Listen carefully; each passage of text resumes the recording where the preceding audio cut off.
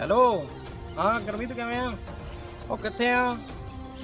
ਉਹ ਯਾਰ, ਉੱਥੇ ਆ ਕੇ ਖੇਤ ਗੇੜਾ ਮਾਰ ਵੀਰੇ ਉਹ ਤੁਹਾਡੀ ਉੱਥੇ ਕਣਕ ਵੱਢੀ ਜਾਂਦੀ ਆ, ਪਤਾ ਨਹੀਂ ਕਿਹੜੇ ਜਿਹੜਾ ਇੱਧਰ ਤੁਸੀਂ ਵਢਾਈ ਸੀ ਮਸ਼ੀਨ ਨਾਲ, ਉਹ ਅੱਧਾ ਕੁ ਕਿੱਲਾ ਰਹਿੰਦਾ ਸੀ, ਉਹਦੇ ਨਾਲ ਆ। ਆ ਮਾੜਾ ਜਿਹਾ ਦੇਖ ਯਾਰ, ਜਾਂ ਕਿਸੇ ਨੂੰ ਮਾੜਾ ਮੋਟਾ ਘਰੋਂ ਕਹਿ ਕੇ ਗੇੜਾ ਗੂੜਾ ਮਾਰਿਆ ਕਰੋ। ਮੈਂ ਮੋਟਰ ਤੇ ਸੀ ਯਾਰ, ਮੈਂ ਤਾਂ ਹੁਣ ਨਿਗਾਹ ਪੈ ਗਈ ਮੇਰੀ। ਹਾਂ ਦੇਖ ਵੀਰ ਬਣ ਕੇ ਆ ਜਾ ਆ ਜਾ ਛੇਤੀ। Okay okay.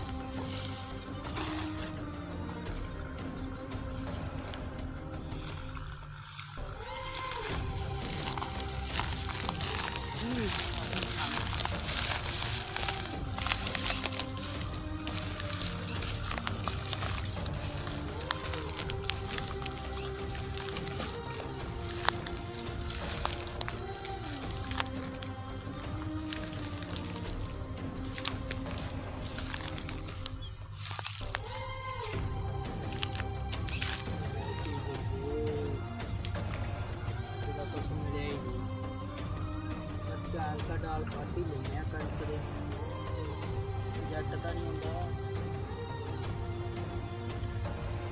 ਲੈਨੇ ਆ ਚਾਰ ਦਾ ਡਾਲ ਉਹ ਉਹਨਾਂ ਦਾ ਕੀ ਆ ਹਰਾਮ ਦੇ ਤਾਂ ਰੋਂਦੇ ਹੀ ਰਹਿੰਦੇ ਆ ਘਰੇ ਹਾਂ ਇਹ ਤਾਂ ਰੋਂਦੇ ਹੀ ਰਹਿੰਦੇ ਪਾਟੀ ਲੈਨੇ ਆ ਚਾਰ ਦਾ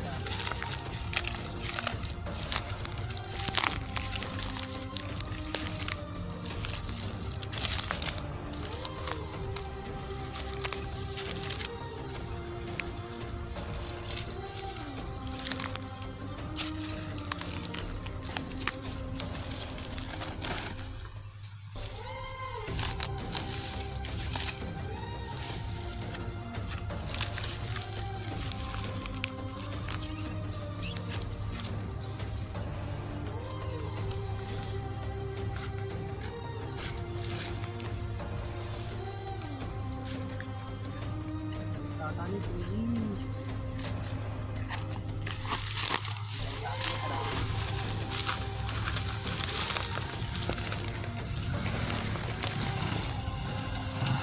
ਭੈਣ ਜੀ ਜਾਨਾ ਨੇ ਹਾਂ ਤੇਰੀਆਂ ਨੇ। ਭੈਣ ਜੋ ਲੱਗੀ ਆ ਇਹ ਚੁਗਣ। ਹਾਂ ਦੱਸ ਕਿਹਨੂੰ ਪੁੱਛ ਕੇ ਬਣੀ ਆ ਤੂੰ ਇੱਥੇ? ਕਿਹਨੂੰ ਪੁੱਛ ਕੇ ਬਣੀ ਆ? ਮੈਂ ਤਾਂ ਜੀ ਇੱਥੇ ਮਸ਼ੀਨ ਚੱਲਦੀ ਤਾਂ ਵੜ ਗਈ। ਵੜ ਗਈ ਇਹ ਤਾਂ ਤੂੰ ਕਣਕੀ ਨੂੰ ਪੁੱਛ ਕੇ ਵੱਢੀ ਆ? ਇੱਥੇ ਪਾਣੀ ਲਾਉਂਦੀ ਗਈ ਤੂੰ? ਹੀ ਚੌਂਕੀ। ਲਾਉਂਦੀ ਸੀ ਇਹ ਇੱਥੇ ਭੈਣ ਜੋ ਤੈਨੂੰ ਸਾਦਾ ਪੰਚਾਇਤ ਚ। ਅੜ ਗਿਆ ਨੇ ਤਾਂ ਇਹ ਕਾਕੀ ਆ ਇਹ। ਮੈਂ ਤਾਂ ਹੀ ਆ ਮਸ਼ੀਨ ਚੱਲਦੀ ਸੀ ਤਾਂ ਮੈਂ ਖਾਲੀ ਖੇਤ ਦੇਖ ਕੇ ਵੜ ਖਾਲੀ ਦੇਖ ਕੇ ਆਏ ਤਾਂ ਹਰੇਕ ਹੀ ਵੱਜ- ਵੜ ਜੂ ਇੱਥੇ ਆ ਕੇ। ਨਹੀਂ ਹੁਣ ਕਦੋਂ ਕਦੀ ਕਦੋਂ ਕਦੀ ਵੜਦੀ ਆ? ਕਿੰਨੀ ਕੁ ਵਾਰੀ ਵੱਢ ਲਈ? ਚੌਕਦੀ ਹੋਈ ਸੀਗੀ ਥੋੜੀ ਵੱਢਣ ਲੱਗੀ ਸੀ ਬਸ ਹਜੇ 5 ਮਿੰਟ ਹੀ ਹੋਏ ਸੀਗੇ। ਹਰ ਵਾਰੀ ਅਸੀਂ ਸੋਚਦੇ ਹਾਂ ਝਾੜ ਕਿਉਂ ਘਟ ਜਾਂਦਾ। ਝਾੜ ਤਾਂ ਐਂ ਘਟਦਾ ਵਾ ਨਾ। ਮਾਫ ਕਰ ਦਿਓ ਯਾਰ ਥੋੜੀ ਵਧੀਆ ਕੱਢ ਦੇਣੀ ਹੈ ਵੱਡੀ ਆ ਨਾ। ਹਾਂਜੀ ਇਹ ਤਾਂ ਗੱਲ ਮੰਨਦੀ ਆ। ਚੱਲ ਮੈਨੂੰ ਸਰਪੰਚ ਨੂੰ ਫੋਨ ਕਰਨ ਦੇ।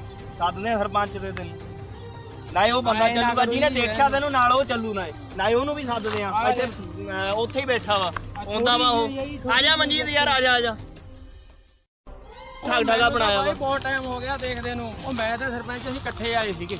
ਬਾਬਰ ਸਰਪੰਚ ਨੂੰ ਫੋਨ ਲਾਉਂਦੇ ਆ। ਮੋਟਰ ਤੇ ਆ। ਮੈਂ ਆਖਿਆ ਸੀਗਾ ਜਦੋਂ ਮੈਂ ਫੋਨ ਦੇਖਿਆ ਇਹਨੂੰ ਮੈਂ ਕਿਹਾ ਵੀ ਕਦੋਂ ਦੀ ਚੱਲਦੇ ਕਿੰਨਾ ਟਾਈਮ ਹੋ ਗਿਆ ਤੈਨੂੰ 2 ਘੰਟੇ ਹੈਲੋ ਮੈਨੂੰ ਹੋ ਗਏ ਦੇਖਦੇ ਹਾਂਜੀ ਹਾਂਜੀ ਸਰਪੰਚ ਸਾਹਿਬ। ਕਿੱਥੇ ਹੋ ਜੀ? ਮੋਟਰ ਤੇ ਹੀ ਹੋ। ਆਈ ਅੱਜ ਇੱਕ ਛੱਟੇ ਚੌਕਦੀ ਆ ਚੌਕਦੀ ਕਾਹਦੇ ਆ ਜੀ? ਵੜਦੀ ਆ। ਖੇਤ ਚੋਂ ਵੱਢਣ ਲੱਗੀ ਪਈ ਸੀ। ਆ ਗਏ ਜੀ ਅਸੀਂ ਤੁਹਾਡੇ ਕੋਲ ਲੈ ਕੇ ਆਉਨੇ ਆ। ਕਰੋ ਅੱਜ ਇਹਨਾਂ ਦਾ ਫੈਸਲਾ। ਅੱਜ ਤੋਂ ਬਾਅਦ ਇਹ ਚੁਗਣ ਨਾ ਕਿਸੇ ਦਾ ਖੇਤ 'ਚ ਨਾ ਵੜ ਸਕਣ। ਚਲੋ ਠੀਕ ਆ ਜੀ ਆ ਗਏ। ਚੱਲ ਆ ਜਾਓ ਫਿਰ। ਚੱਲ ਆ ਜਾ। ਆ ਨਾਲ ਹੀ ਲੈ ਕੇ ਜਾਣਾ ਚੱਕ ਚੱਕ ਕੇ ਨਾਲ ਲੈ ਕੇ ਆ ਇਹਨੂੰ। ਆ ਜਾ ਆ ਜਾ। ਮੋਟਾ ਹੈ ਇੱਥੇ ਰਹਿੰਦਾ। ਇੱਥੇ ਬੈਠਾ ਵਾ ਬਾਹਰ ਚੱਲਦੇ ਆਪਾਂ ਇਹਨੂੰ ਲੈ ਕੇ ਤੇਰੇ ਨਾਲ ਵੀ ਸੀ ਕੋਈ ਕਿ ਕੱਲੀ ਹੋਈਆਂ ਕਿੰਨੀ ਵਾਰੀ ਇਹ ਚੁਗੇ ਆ।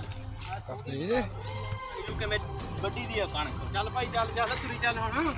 ਪਹਿਲਾਂ ਦੇਖ ਹੁਣ ਤਾਂ ਇਹਨਾਂ ਨੇ ਠੀਕ ਆ। ਚੱਲ ਯਾਰ ਬਾਈ ਮੈਂ ਤਾਂ ਜਾਣਾ ਜਾ ਲੈ। ਯਾਰ ਉਹਦਾ ਭੁੱਲਰ ਦਾ ਫੋਨ ਆਇਆ ਸੀਗਾ। ਉਹ ਖੇਤ 'ਚ ਬੁੜੀ ਫਿਰਦੀ ਸੀ ਕੋਈ ਚਿੱਟੇ ਦੀ ਨਾਲੇ ਕਣਕ ਵੱਢਦੀ ਸੀਗੀ। ਉਹ ਆਉਂਦਾ ਉਹਦਾ ਫੈਸਲਾ ਕਰਾ ਦਈਏ ਆਪਾਂ। ਪਰ ਅਸਲ ਚੰਗਾ ਜਮਾਨਾ ਆ ਗਿਆ ਭੈਣ। ਦੇ ਲੋਕ ਕੀ ਆਪਾਂ? ਕਰੀਏ। ਪਾਣੀ ਲਾਈਏ ਰਾਤਾਂ ਨੂੰ ਉੱਠ ਉੱਠ ਕੇ ਪਾਣੀ ਲਾਉਂਦੇ ਨੱਕੇ ਮੋੜਦੇ ਸਹੀ ਗੱਲ ਆਉਂਦੀਆਂ ਆ ਦੇ ਨਾਮ। ਨਾਲ ਚੁੱਕ ਕੇ ਲੈ ਜਾਂਦੇ। ਉਹੀ ਤਾਂ। ਆਉਣ ਦੇ ਪੁੱਤਰਣਾ ਆਉਣ ਦੇ ਯਾਰ। ਫੈਸਲਾ ਕਰਨਾ ਹੀ ਕਰਨਾ ਯਾਰ ਇਹ। ਨਾਲੇ ਬਹੁਤ ਗੰਦ ਪਿਆ ਛੱਡੇ ਜੋ ਬਾਈ ਹਰੇਕ ਵਾਰੀ ਐਂ ਹੁੰਦਾ ਵਾ ਫਿਰ ਕਹਿੰਦਾ ਸਾਡਾ ਝਾੜ ਘਟਦਾ ਫਸਲ ਦਾ। ਝਾੜ ਕੱਢਣਾ ਹੀ ਅੱਧਾ ਕਿਲਾ ਦਾ ਇਹ ਲੈ ਹੋਰ ਕੇ ਯਾਰ, ਚਾਰ ਕੀ ਕਰੂ ਪਤਾ ਲੱਗਦਾ ਇਹਨਾਂ ਇੱਥੇ। ਇਹਨਾਂ ਨੂੰ ਪਤਾ ਲੱਗ ਜਾ। ਕਿਵੇਂ ਕਰਦੇ ਆ ਕਿਵੇਂ ਵੱਢਣੇ ਆ। ਸਤਿ ਸ੍ਰੀ ਅਕਾਲ ਸਰਪੰਚ ਸਾਹਿਬ। ਮੈਂਬਰ ਜੀ। ਸਹੀ ਗੱਲ ਅੱਜ ਤਾਂ ਰਸੋਈ ਕੀ ਕਰਨਾ ਹੁਣ? ਕੀ ਹੋ ਗਿਆ ਪੁੱਤਰਾ? ਇਹ ਇਹ ਕਣਕ ਵੜਦੀ ਆ। ਇੱਧਰ ਮਨਜੀਤ ਨੇ ਦੇਖੀ ਆ ਜੀ। ਗੋਲੀ ਬਣਦੀ ਆ ਵੀ ਇਹ। ਮੈਨੂੰ ਹੋ ਗਿਆ ਜੀ ਘੰਟਾ ਕਿ ਦੇਖਦੇ ਨੂੰ ਮੈਂ ਤਾਂ ਕੁਦਰਤੀ ਫੋਨ ਕਰਦਾ ਦੇ। ਮੈਂ ਤਾਂ ਫੋਨ ਕਰਦਾ ਇਹਨੂੰ ਮੈਂ ਕਿਹਾ ਵੀ ਆ ਕੇ ਦੇਖ ਇਹ ਕੱਲ ਵੀ ਚੌਕਦੀ ਸੀ ਮੈਨੂੰ ਸ਼ੱਕ ਕੱਲ ਵੀ ਪੈਂਦੀ ਸੀ। ਮਾੜੀ ਗੱਲ ਆ ਤੇਰੇ ਲਈ ਜੇ। ਕੁੜੀਏ ਕਦੋਂ ਦੀ ਜਗਦੀ ਹੈ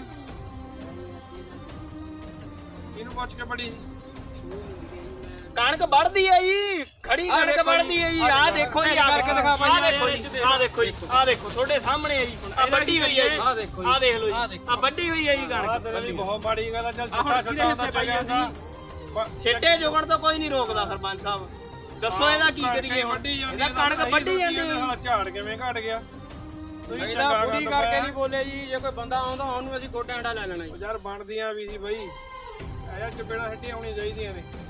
ਤੇਰਾ ਦੱਸ ਕੀ ਕਰੀਏ ਅਸੀਂ? ਔਰ ਤੁਸੀਂ ਸਰਪੰਚ ਹੋਰ ਤੇਰੇ ਨਾਲ ਸਾਹਿਬ ਕਿੰਨੀਆਂ ਬੰਦੇ ਹੋ, ਹੁੰਦੀਆਂ ਨੇ, ਕਿੰਨਿਆਂ ਦਾ ਤੁਸੀਂ ਕਿਹੜਾ ਦੱਸੋ ਇਹਦੇ ਨਾਲ ਕੀ ਕੀਤਾ ਜਾਵੇ? ਕਿੰਨੀਆਂ ਜਣੀਆਂ ਹੁੰਦੀਆਂ ਕਿ ਕਿੰਨੀ ਕਬੱਡੀ ਆ? ਆਵੇਂ ਸਰਪੰਚਾ ਕੀ ਕਰੀਏ ਹੁਣ ਇਹਨਾਂ ਦਾ? ਦੇਖ ਲਓ ਆਪੇ ਫੈਸਲਾ ਕਰ ਲੈਂਦੇ ਆ ਆਪੇ ਫਿਰ। ਚਲੋ ਇੱਕ ਗੱਲ ਕਰਦੇ ਆ ਜਨਾਨੀ ਆ ਆਪਾਂ ਪਹਿਲੀ ਵਾਰ ਛੱਡ ਦਿੰਦੇ ਆ। ਕੋਈ ਠੀਕ ਹੈ ਇੱਕ ਵਾਰ ਤੂੰ ਮਾਫ ਕਰ ਦੇ ਆ ਜਿਹੜੀ ਹੈਗੀ ਆ ਇਹਨੂੰ ਆਪਾਂ ਕਿਸੇ ਪਾਸੇ ਰਖਾ ਦਿੰਦੇ ਆ ਆਪਣੇ ਖਾਤੇ 'ਚ। ਅਗਲੀ ਵਾਰ ਤੋਂ ਜੇ ਤੂੰ ਜਾਂ ਤੇਰੇ ਨਾਲ ਦੀ ਕੋਈ ਫੜੀ ਗਈ 20000 ਰੁਪਏ ਜੁਰਮਾਨਾ ਆਊ ਇੱਕ ਕਿੱਲੇ ਦਾ ਚਾਹੇ ਤੂੰ ਵੱਢਿਆ ਚਾਹੇ ਨਹੀਂ ਵੱਢਿਆ। ਜੇ ਉਹਨੇ 10 ਕਿੱਲੇ ਰੁਪਈਆ 2 ਲੱਖ ਪਾ ਲੈਣਾ ਸੀ ਨਾਲੇ ਤਿੰਨ ਮਹੀਨੇ ਦੀ ਹੋਣੀ ਆ ਤੈਨੂੰ ਸਜ਼ਾ। ਹਾਂ। ਠੀਕ ਆ? ਐਂ ਕਹ ਸਰਪੰਚਾ ਫੋਨ ਮਾਰ ਯਾਰ ਗੁਰਦੁਆਰੇ ਨਾ ਗੁਰਦੁਆਰੇ ਮੈਂ ਫੋਨ ਕਰ ਦਿੰਦਾ ਵਾ ਚੰਗਾ ਗੰਦ ਪਾਇਆ ਯਾਰ। ਇਹਦੇ ਲੋਕ ਹੈਲੋ ਹਾਂਜੀ ਬਾਬਾ ਜੀ। ਉਹ ਆਪਾਂ ਲੌਸਮੈਂਟ ਕਰਾਉਣੀ ਸੀਗੀ। ਹਾਂਜੀ। ਉਹ ਇਹ ਕਰਾਉਣੀ ਸੀ ਬਈ ਆਪਣੇ ਜਿਹੜੇ ਹੈਗੇ ਨਾ ਕਣਕ ਦੇ ਆ ਵੱਢਦੀਆਂ ਵਾ। ਬਾਹਰੋਂ ਆਉਂਦੀਆਂ ਬੁੜੀਆਂ। ਹਾਂਜੀ। ਹਾਂ ਹਾਂ ਹਾਂਜੀ ਹਾਂਜੀ ਕਰ ਦੋ ਕਰ ਦੋ। ਵੀ ਫੜੀ ਗਈ ਵੀ 2 ਲੱਖ ਦਾ ਹਾਂ। ਹਾਂ, ਜੁਰਮਾਨਾ ਹਾਂ। ਸਰਪੰਚ ਸਾਹਿਬ ਵਿੱਚ। ਸਜ਼ਾ ਵੀ ਕਰੂਗੀ ਉਹਨੂੰ ਤੇ ਜੁਰਮਾਨਾ ਵੀ ਹੋਊਗਾ 2 ਲੱਖ ਮਹੀਨੇ ਦੀ ਸਜ਼ਾ ਹੋਊਗੀ 2 ਲੱਖ ਰੁਪਏ 2 ਲੱਖ ਰੁਪਏ ਜੁਰਮਾਨਾ ਤੇ 3 ਮਹੀਨੇ ਦੀ ਸਜ਼ਾ ਉਹਨੂੰ। ਹਾਂਜੀ। ਹੁਣੀ ਹੁਣੀ ਹਾਂਜੀ ਹੁਣੀ ਕਰ ਦੋ। ਠੀਕ ਆ ਜੀ। ਨਾਲੇ ਭਾਈ ਫਾਇਦਾ ਕੋਈ ਨਾਲੇ ਆਪਦੇ ਬੰਦੇ ਦੀ ਤੂੰ ਬੇਇੱਜ਼ਤੀ ਕਰਾਉਣੀ ਇੱਥੇ ਜੱਟਾਂ ਦੇ ਨਾਲ ਜੱਟ ਸਾਰਾ ਸਾਰਾ ਰਾਤ ਮਾਰਦੇ ਆ ਕਦੋਂ ਪਾਣੀ ਆਇਆ ਕਦੋਂ ਨਹੀਂ। ਉਹ ਘਰ ਵਾਲਾ ਸਰਪੰਚ ਸੱਪਾਂ ਸਾਹਿਬ ਦੀਆਂ ਸਬਜ਼ੀ ਵੇਚਦਾ ਇਹਦਾ ਵਾ ਵਿਚਾਰਾ ਮਿਹਨਤ ਕਰਦਾ ਇਹ ਦੇਖ ਲੋ ਕਹੇ ਜੇ ਕੰਮ ਕਰਦੀ ਪੁੱਠੇ ਕੰਮ ਕਰਦੀਆਂ ਐ। ਸੱਪਾਂ ਦੀਆਂ ਮਿਹਨਤ ਕਰੋ ਆਪਦਾ। ਕੰਮ ਕਰਕੇ ਖਾਓ। ਜੇ ਤੈਨੂੰ ਨਹੀਂ ਕੋ ਮਿਲਦਾ ਤਾਂ ਦੱਸ ਬੀਬਾ। ਚੱਲ ਠੀਕ ਆ ਪੁੱਤਰਾ ਯਾਰ ਮਾਫ ਕਰ ਦੇ ਹੁਣ ਪਹਿਲੀ ਵਾਰ ਮਾਫ਼ ਕਰਾ ਕਰ ਦਿੰਦੇ ਦਿੰਦੇ ਆ, ਆ ਕੋਈ ਨਾ। ਆਪਾਂ ਇਹਨਾਂ ਤੇ ਕਾਰਵਾਈ ਕਰਾਂਗੇ ਯਾਰ। ਚਲੋ ਤੁਹਾਡੇ ਸਰਪੰਚ ਸਾਹਿਬ ਕਹਿਣ ਤੇ ਆਪਾਂ ਮਾਫ ਕਰ ਦਿੰਦੇ ਆ ਪਰ ਗੱਲ ਤਾਂ ਮਾਫ ਕਰਨ ਵਾਲੀ ਨਹੀਂ ਸੀਗੀ। ਚੱਲ ਕੋਈ ਨਾ ਕੋਈ ਨਾ ਚਲੋ ਠੀਕ ਆ। ਚਲੋ ਠੀਕ ਹੈ ਜੀ। ਚਲੋ ਠੀਕ ਆ ਸਰਪੰਚ ਸਾਹਿਬ ਧੰਨਵਾਦ ਤੁਹਾਡਾ। ਕੋਈ ਨਾ ਚੱਲ ਵੀ ਚੱਲ ਆ ਚੱਕ ਦੇ ਖੇਤ 'ਚ ਰੱਖ ਕੇ ਰੱਖ ਕੇ ਜਿੱਥੋਂ ਵੱਡੇ ਆ ਇਹ। ਸਰਪੰਚ ਸਾਹਿਬ ਚੰਗਾ ਯਾਰ ਗੱਲ ਜਾਵਾ ਕੀ ਕਰੀਏ? ਬੀਜ ਦਾ ਉਹਨੂੰ ਮੁੱਲ ਨਹੀਂ ਮਿਲਦੇ ਸਰਕਾਰਾਂ ਮੁੱਲ ਸ੍ਰੀ ਅਕਾਲ ਜੀ ਸਾਰਿਆਂ ਨੂੰ। ਸਾਡਾ ਇਹ ਵੀਡੀਓ ਬਣਾ ਕੇ ਅਤੇ ਸੰਦੇਸ਼ ਦੇਣ ਦਾ ਮਕਸਦ ਇਹ ਆ। ਪਹਿਲਾਂ ਤਾਂ ਸਰਕਾਰਾਂ ਸਾਨੂੰ ਪੂਰਾ ਪ੍ਰੋਪਰ ਰੇਟ ਨਹੀਂ ਦਿੰਦੀਆਂ। ਦੂਜਾ ਇਹਦੇ ਇਹ ਵਰਗੀਆਂ ਵਰਗੀਆਂ ਆ ਖੇਤਾਂ ਦੇ ਵਿੱਚੋਂ ਬੱਲੀਆਂ ਚੁਗਣ ਦੇ ਬਹਾਨੇ ਆਉਂਦੀਆਂ ਨੇ ਤੇ ਫਸਲ ਵੱਢ ਕੇ ਲੈ ਜਾਂਦੀਆਂ ਨੇ। ਜਿਹਦੇ ਨਾਲ ਜੱਟਾਂ ਦਾ ਸਿੱਧਾ ਸਿੱਧਾ ਨੁਕਸਾਨ ਹੁੰਦਾ ਤੇ ਝਾੜ ਸਾਡਾ ਪੂਰਾ ਨਹੀਂ ਨਿਕਲਦਾ। ਜੱਟ ਇਸ ਤੋਂ ਬਾਅਦ ਕੀ ਕਰਨ ਅੱਕੇ ਹੋਏ? ਸਰਕਾਰਾਂ ਉੱਤੇ ਮਰਦੇ ਆ ਦੋਸ਼ ਜੀ। ਫਿਰ ਦੇਖੋ ਜੀ ਜੱਟ ਅੱਕੇ ਹੋਏ ਖੁਦਕੁਸ਼ੀਆਂ ਕਰ ਰਹੇ ਨੇ।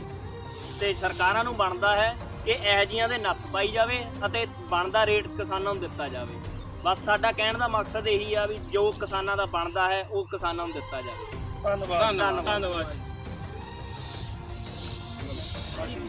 ਓਏ ਓਏ ਓਏ ਓਏ ਓਏ